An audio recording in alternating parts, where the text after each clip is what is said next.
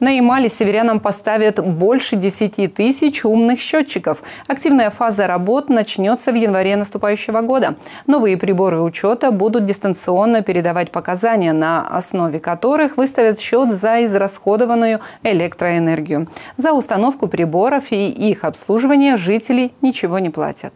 Рядовым потребителям умные приборы учета позволят э, онлайн следить за показаниями, при этом их можно проверить и на самом приборе учета. Также данные э, в автоматическом режиме передаются в энергокомпании.